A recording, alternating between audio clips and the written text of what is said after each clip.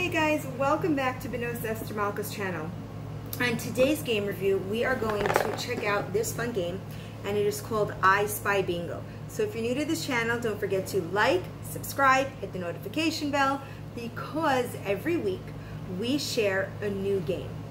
So I Spy Bingo is really two games in one. You have the I Spy component, and you have the bingo component. So let's check out the game. The first thing that I want to show you, it's a pretty large box. I mean, just look at this. It is larger in size and I guess I don't mind large games if it's a large. Oops. it's a large game. As you can see here, it is not a large game. There is no game insert or anything here to make it worth like, oh cool, like this is a large game, so it needs a large box. So there's something I noticed. Now, next you have the game, the bingo boards, because it's I Spy and Bingo, so you have the bingo boards here. And I like it, they are double-sided, so whatever number of bingo boards you're getting, you are getting double. And if you play with kids, or if you play for yourself, even though the concept is the same, it's nice to know that you have what to choose from. And as you can see here, there's quite a large selection, so you're always going to get something new and different. These are made of a thicker cardboard, so they are cardboard, keep it away from water, you know, you know how it goes. But it's thicker, so they're not really so bendy, so that's kind of a plus. So here are the boards. Next, you have the I Spy part, and these are also double-sided, so same as the board. You never know actually what you're playing with. And I like it. I, I can't help myself. I like a game that has multiple levels or multiple ways to play because, again, when you're playing with kids, and especially if they're going to ask you for the same game over and over again, it's nice to know that they are double-sided so you as the adult have what to play with.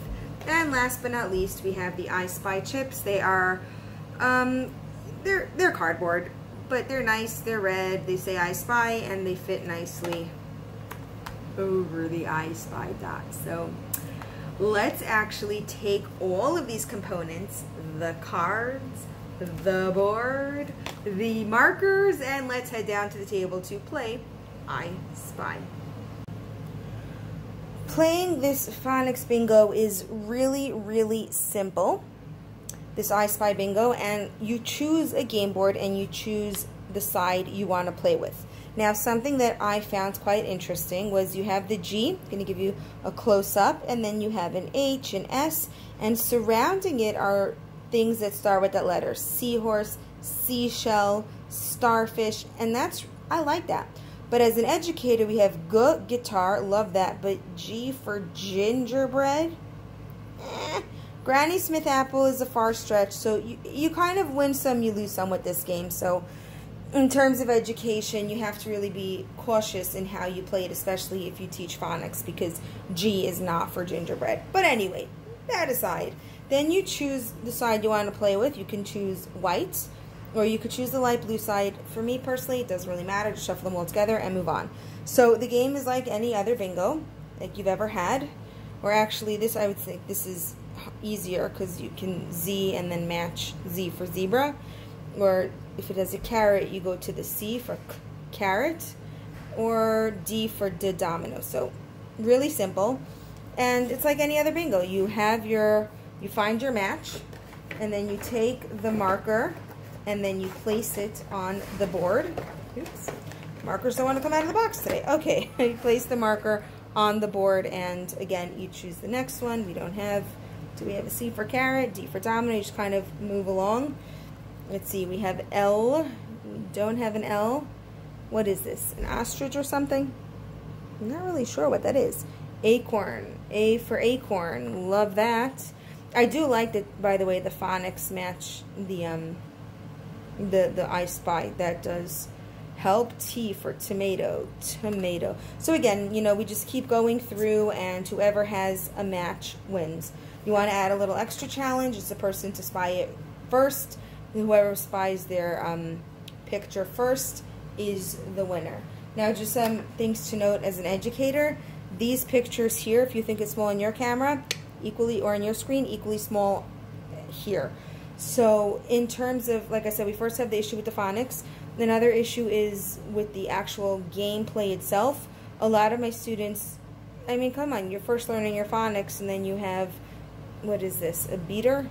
I guess B for beater, or is it E for egg beater, or it's just it's a little bit hard. There's a lot to pay attention to. Children with issues with scanning you also have to look around for each and every single one because in my opinion if you're going to play you play the full way so you have to match the picture to the picture. So if you guys have I Spy give this video a thumbs up and let's check out what I think in terms of having um, I Spy Bingo in your classroom so, what do I think of I Spy Bingo? Well, give this video a thumbs up and I'm going to tell you. Number one means I love it. Number two, you decide. And number three, stay away from it. I'll be honest, I'm going to go with 2.5, almost 3. And that for me was a very hard rating. And I'll tell you why. On first, on the face value of this game, it's simple, it's bingo. So I do like it that kids, they know how to play bingo, they know how to match. So young kids could play, and I found that really, really fascinating, and they found it fascinating, and at first it was enjoyable because they're spying, they're playing. So that's why I gave it a little bit of a higher number. Um, another thing I liked about it is that there are many different sides, both of the cards and of the actual game. So when you're playing, it's not the same thing. Like you don't memorize it. And for an adult, I like that. But, but, what I don't really like about it, and I'll tell you, is first of all, the scanning part of the boards gets really confusing. I'm just going to show you what I mean. Like, look at all this. These cards, some of these letters are so busy. So for a child learning their letters, actually found more like 50-50. Not all of them can keep up with this card. So, okay, so they can't keep up with the cards. They play with an older child, well, they know their phonics, and then it just becomes a game, and a game, it, it I would say six months to a year if you're lucky. Play it maybe like once a month, you know. So on first hand, the concept of this game is great. It has the I Spy, it has the bingo, it has the phonics. But when I introduced it to my pre-reader, a lot of them found it so overwhelming that it just didn't bring out the educational value. And at the same point, when I presented it to an older child, it was fun, it was cute, but it lost its hype, its excitement, because at the end of the day, it's bingo. How many times can you sit down and play bingo? So, because it had a mixture of both, I would say you decide, hence the two, you know, the, th sorry, 3.5, like you really decide, but err on the side of caution. If I happen to have been lucky, I found it in a, you know, like um, a local discount store. I only paid a few dollars for it, so okay, you know, we'll send it on to someone else. I'm not disappointed in this. It was a short-lived game. I personally, to play with my students year after year, was not that excited about it. But for a few dollars, you win some, you lose some. Would I pay full price for this? Probably not. If I see it at a thrift shop again or a local discount store, would I buy it again? Possibly. But like I said, for the average child, this is going to be a very, very short-lived game.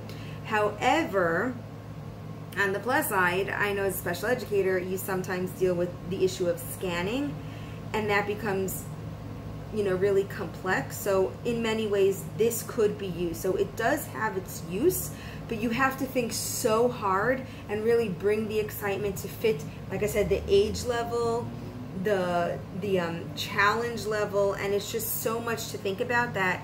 From my personal opinion and owning a game school, there is just there are better options out there. If you know a better option, well, I'd love to hear about it. Can't leave a message below thanks to YouTube's new policy, but don't worry. Give this video a thumbs up. Check out the links below because number one, if you are leaning towards buying it, definitely going to leave a link for you guys because I love you so much.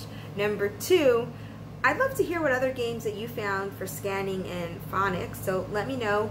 Click on my Instagram link and head over to my Instagram page. And I would love to chat with you about the fun phonics games available or that you guys have had success with. Thank you guys so much for stopping by. Don't forget to like and subscribe.